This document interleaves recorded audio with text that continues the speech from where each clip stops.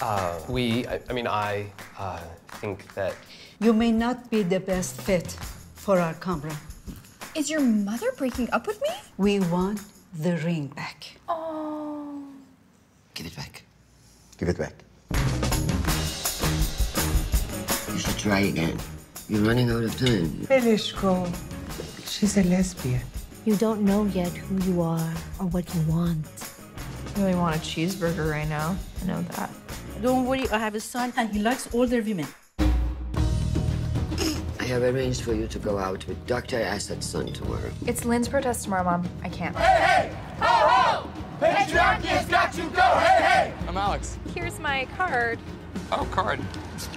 It's really 90s. I grew up in Orange County, but my parents are from Iran. You know, super peaceful country in the Middle East, never in the news. I've heard of it. He's this free-spirited artist who's funny and gentle and sensitive and progressive. I'm from a family of fascists, so we're gonna Mussolini him out of my life. You're not gonna die. Oh, yes, I will. She might. So your parents... Are divorced. And my dad met a great guy. Did you meet Steven and realize you were gay? Or were you feeling unfulfilled with Maggie and then you realize you were gay?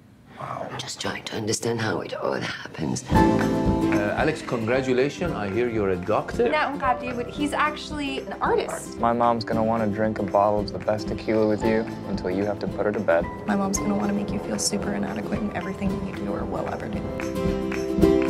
Love is about sacrifice, understanding, and forgiveness. Do you think our families are too different? I want you to be happy.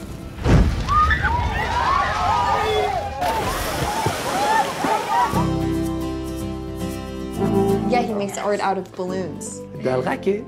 I didn't follow that. He's really excited to meet your family.